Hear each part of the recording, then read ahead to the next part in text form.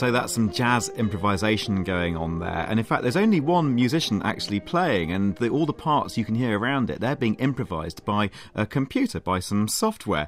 Uh, so let's find out a bit more about it. It's called Flow Machine, and it's actually a project of Sony's Paris Research Labs, uh, from where the software's creator, Francois Pachet, has been telling me more.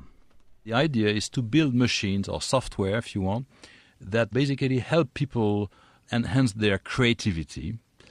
And it tries to do so by giving tools uh, with which users can uh, literally manipulate styles.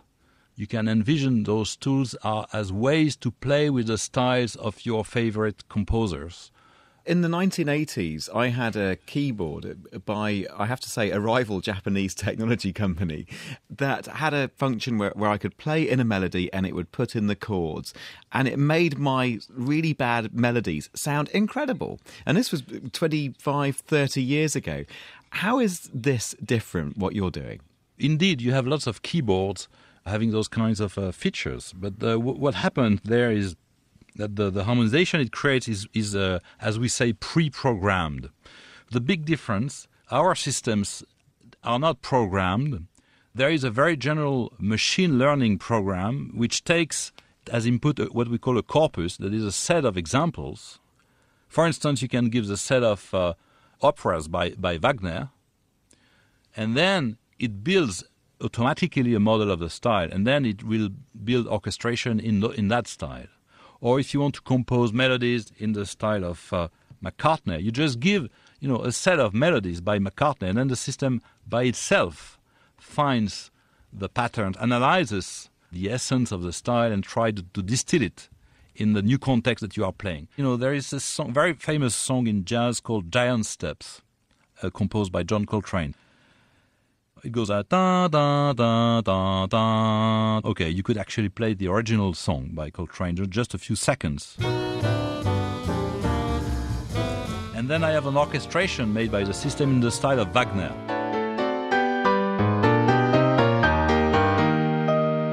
You can hear piano with lots of notes, and you can recognize some Wagnerian patterns but still, you can recognize also the melody of Giant Steps. So it's like if uh, Wagner had actually orchestrated Giant Steps. You know, what is really exciting is not so much to have a machine that generates a new piece in the style of Miles Davis. What is really great is if I could have a, a machine that generates a piece in my style, that I can control, that I can say, yes, it's very much what I wanted, then yes, I like it, yes, I can recognize my ways of doing my patterns, my chords, my whatever, and it's mine. But I could not have done it alone. You know, I needed this extra help to produce this particular combination of, of notes or chords. And finally and briefly, is this in a product yet, or is this really is this quite a long way from being something that the consumer would have? It's not a product yet, but I definitely have the vision and something I'm trying to push within Sony actually that style can be a new form of uh, music uh, content. You know, today music music types are basically uh, audio files. So here I'm suggesting that the future of music could be not about selling only songs or fully uh, produced music pieces, but selling styles. Styles could become a, a music asset, actually an object of uh, a computational object first, but then an object of uh, a business object. And I think it's really it corresponds to the the way people want to to enjoy music today. It's much more active, you know. It's it's much less I want to listen to this song and much more I want to create my song or my stuff, you know, with what I like. And I want to have the feeling that it's mine, you know.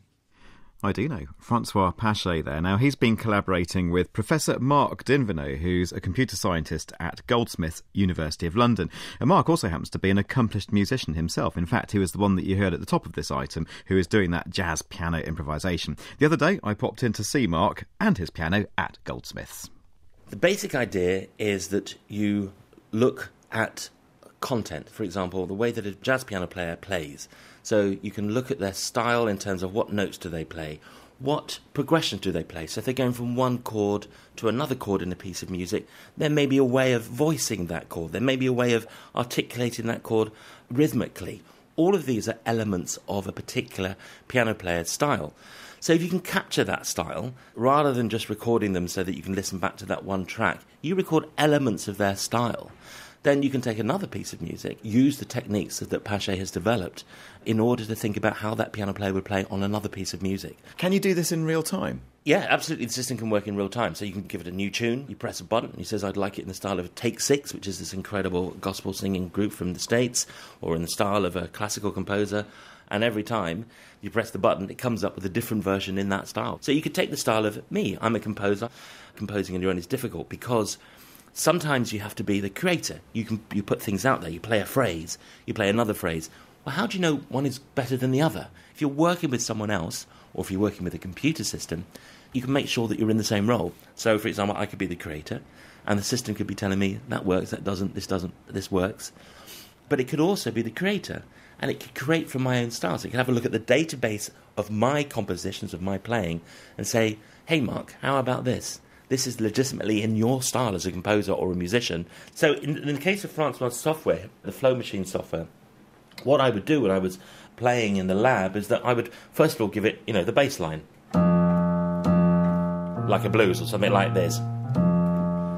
So then it would have, and I'd play it at different levels. You know, I'd play it, you know, maybe the first time I'd play it just one to the bar, two, three, four, and then, and then by the end I'd be kind of walking bass line. And then, you know, the, the, bass would be there, and I'd start playing chords.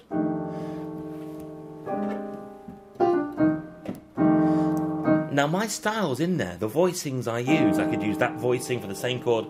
I could use a different voicing, but also the way I'm playing. It's kind of you know every jazz musician is, is different in the way their touch is different, their feel is different, and I build up this bass. This, this so I've got the bass lines there, different bass lines from me. I've got different chords from me, and then I start playing the tune or some improvisation.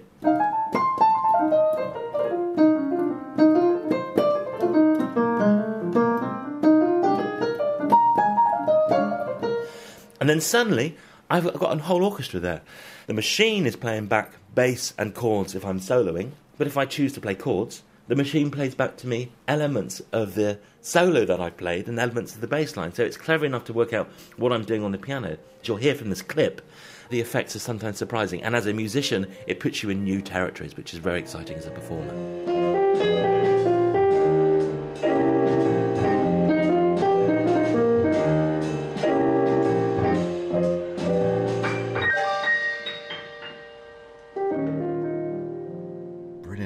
I feel like doing my late night radio voice there. Bill, did you enjoy that? I enjoyed some of it. Um, Oh. the, the, the the Coltrane into Wagner did make me win. So, but as a demonstration, it was really interesting because there was. I love Coltrane and Wagner putting them together. Painful, but it was, you know, a, a really impressive piece of composition, uh, and the whole idea, I think, uh, of sort of what's happening here is fascinating. The, the idea that you can do enough to, to program a, a piece of software to interpret what a human is doing and then respond to them, that call and response that's the essence of musical improvisation like this, fascinates me. They, they've made so much progress so quickly compared to the early experiments. But one thing that troubles me is unpicking who the ownership of the music. If I do something in the style of another composer using um, this software that the Sony guys have put together as well, is that my composition or is it Wagner's? I, I don't know. If you use it, but if I write something on this laptop in front of me, you know, is it mine or is it the person who wrote the word processing software? I, I think I think I don't. That's I, different though, isn't it? I, I think that it might help us to be more sensible about musical creativity if we acknowledged that there is no one source, there is no one author. You know, Wagner was original, but he wasn't entirely original. He didn't start from nothing. Jazz improvisations, we work together in this. And Yeah, in but- fact, perhaps having a semi-intelligent, capable computing partner in a composition will help us be a, bit, a little more relaxed about such things as ownership and focus instead on the beauty and quality of the music. But your software, your word processing software, doesn't allow, allow you to write a document in the style of Charles Dickens, for instance. It could do. I could easily write some software that would do that for me, and then we'd have your problem. I don't think that's a real problem. What I think is interesting is is the music any good? On there, that I certainly agree. That is it. Agreement is breaking out. We'd better stop. I'm Gareth Mitchell. The producer's Colin Grant. We're back next week. Goodbye.